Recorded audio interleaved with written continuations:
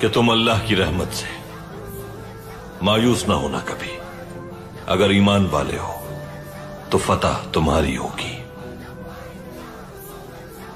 अगर हक और सच का साथ देने का अंजाम जिंदान की कैद है, और किस्मत को यही मंजूर है तो फिर यूसुफ अलैहिस्सलाम की तरह हम भी इस जिंदान को अपने सब्र के नूर से मुनव्वर कर देंगे।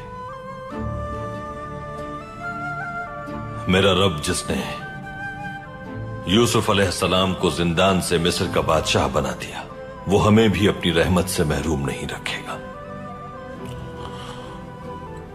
इंशाल्लाह भाई, इंशाल्लाह।